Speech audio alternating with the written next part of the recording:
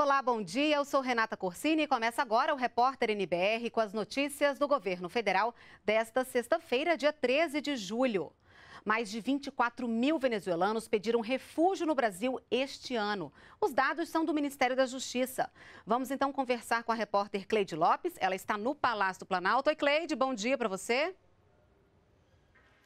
Bom dia, Renata. Bom dia a todos. Até junho deste ano, 24.356 venezuelanos pediram refúgio no Brasil, o que representa um crescimento de 26,6% em relação ao ano anterior. Apenas por Roraima, principal acesso dessa população ao país, foram registrados 18.374 pedidos de refúgio no primeiro semestre deste ano, número maior de que os pedidos registrados em todo o país em 2017, que foi um total de 17.865. O recorde de solicitações ocorreu no mês de maio, quando foram realizadas as eleições na Venezuela e o presidente Nicolás Maduro foi reeleito. A segunda maior população com número de pedidos de refúgio no Brasil foi a haitiana, no, nesse primeiro semestre, a haitiana, com 2.848 pedidos. Renata. Obrigada, Cleide, pelas suas informações. Bom trabalho para você. E olha, a Petrobras anunciou a redução de 0,98% no preço da gasolina nas refinarias a partir de hoje, sexta-feira. Com isso, o preço do litro na refinaria vai sair a R$ 2,03. E uma plataforma lançada pela Agência Nacional de Petróleo, a ANP, facilita a busca pelo combustível mais barato. É uma forma de planejar o orçamento. Os detalhes você confere agora na reportagem de Gabriela Noronha. Os donos dos postos de combustível no Brasil têm autonomia para definir os preços cobrados pelo litro da gasolina, do etanol e do diesel. Segundo o levantamento semanal de preços da Agência Nacional de Petróleo, ANP, o preço médio da gasolina em julho é de pouco mais de R$ 4,40.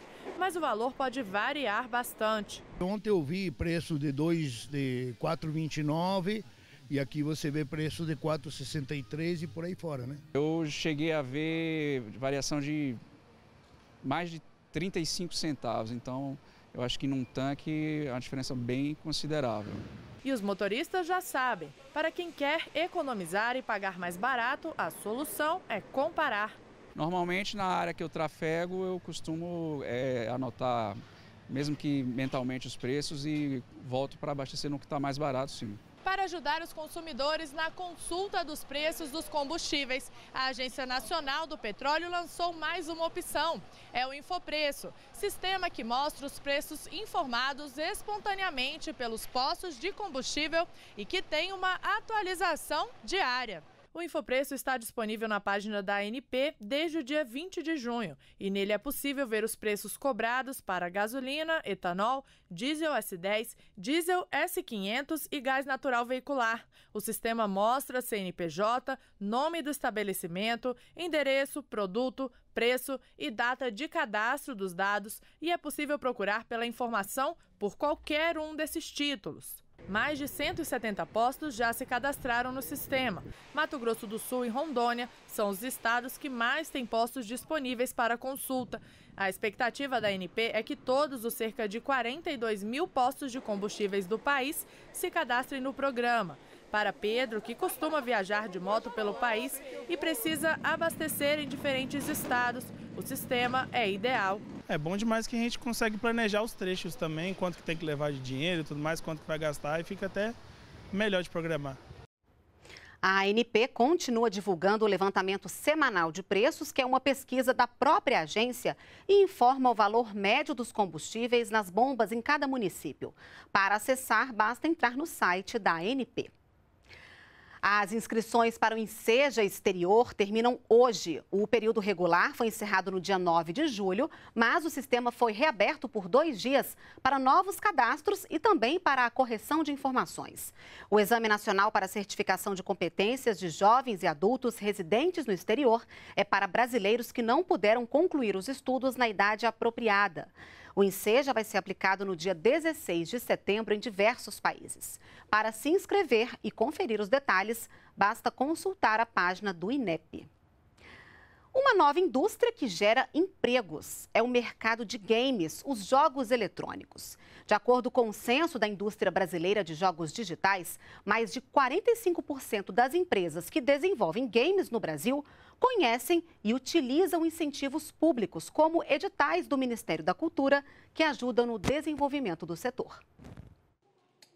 Parece brincadeira, passatempo mas na verdade é um setor que utiliza alta tecnologia e aquece a economia. É a área dos games. De acordo com o segundo censo da indústria brasileira de jogos digitais, são 375 empresas do setor em todo o país. Hoje, o setor de jogos, globalmente, ele é o maior da, da área de entretenimento. Né? Se eu não me engano, o faturamento do, do ano passado, global, foi 116 bilhões de dólares. Então, acompanhando esse mercado internacional, é, o Brasil também está crescendo. A cada dia que passa, são mais empresas, mais e não, não, não só empresas fazendo sucesso nacionalmente, mas principalmente internacionalmente. Nos últimos 24 meses, mais de 1.700 jogos foram criados no Brasil. Em parte pela própria dinâmica do setor, em parte pelas políticas públicas. São cursos e editais de incentivo ao desenvolvimento de games. A gente tem dinheiro, capital, recurso para desenvolver esses jogos. São muito grandes, demoram muito tempo para ser desenvolvidos, de um a dois anos. E com essa ajuda desses editais, a gente, a gente é capaz de desenvolver e vender e colocar esses jogos no, no, nas plataformas. De acordo com o segundo censo da indústria brasileira de jogos digitais, 45,5% das empresas que desenvolvem games no Brasil conhecem e utilizam incentivos públicos. Mais de 70% dos empreendimentos faturam até 81 mil reais por mês e quase 30% exportam os jogos. No estúdio em que os jovens trabalham, também são criados jogos para dispositivos móveis como celulares e tablets, realidade de quase metade das empresas do setor no país. Para este desenvolvedor de jogos, que ainda está na universidade, a indústria do entretenimento tem cada vez mais espaço para os games. Antigamente a gente tinha filme, tem livro, mas essas são mídias que você não tem controle sobre. Você está lendo o livro e você não está interagindo com o livro. Você não decide se o personagem vai para a direita ou para a esquerda do livro e qual é o ponto final daquele negócio. Então acho que jogos são o futuro da indústria de entretenimento. Nós ficamos por aqui, podemos voltar a qualquer momento com outras informações ou no nosso próximo boletim de notícias ao meio-dia. Um bom dia para você e continue com a gente aqui na NBR, a TV do Governo Federal.